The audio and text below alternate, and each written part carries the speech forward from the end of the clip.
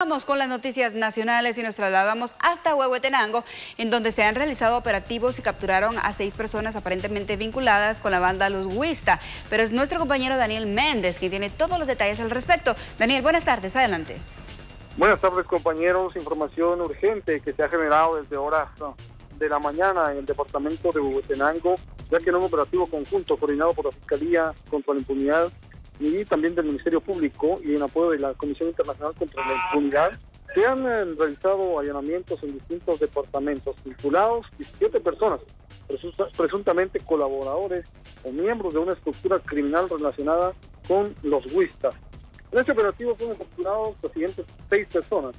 Juan Bautista Rosoto López, alias Juancho, asociación ilícita y obstaculización a la acción penal y falsedad ideológica. Raúl Antonio Salazar Pérez, alias Seco, Asociación Ilícita, Alfredo Antonio Salazar Pérez, alias El Gordo, Asociación Ilícita, José Manuel Solórzano Pérez, alias Pocho, Asociación Ilícita, Rudy Neri Martínez Chutú, abogado, obstaculización de la acción penal y falsedad ideológica.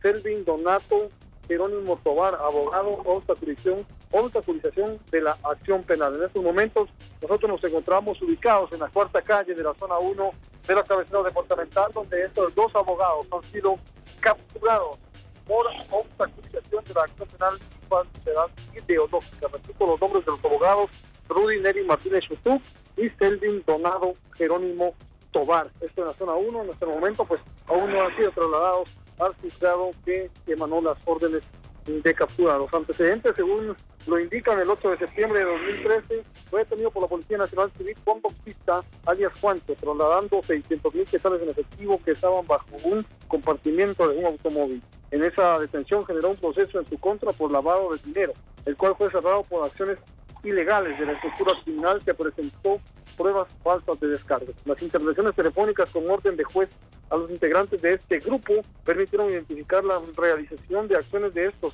para garantizar la liberación de Juan Bautista Rosoto López, alias Juancho, a través de la presentación de documentos que permitieran acreditar falsamente la legalidad del dinero.